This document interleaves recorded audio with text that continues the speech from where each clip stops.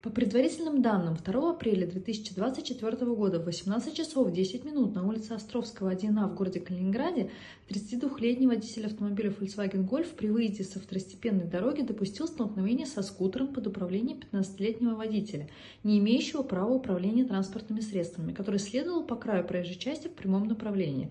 В результате дорожно-транспортного происшествия водитель скутера получил телесные повреждения. Уважаемые родители, объясните детям, что лица, управляющие скутером, являются участниками участниками дорожного движения, поэтому обязаны знать и соблюдать ПДД.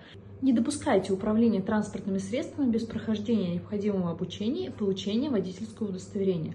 Помните, что в случае ДТП юный водитель может получить серьезные травмы.